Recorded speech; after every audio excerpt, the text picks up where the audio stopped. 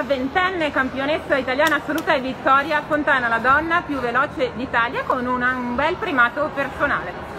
Sono veramente felicissima perché sapevo di stare bene, però poi giocano molte cose, l'ansia, però volevo solo divertirmi.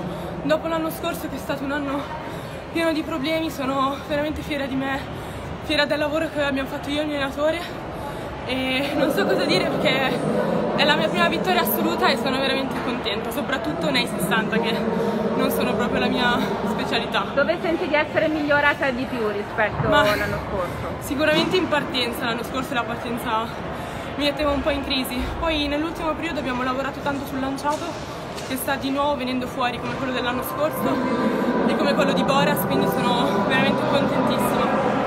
Domanda indiscreta, quanto vale sui 100 metri? Ah, non lo so, non voglio saperlo.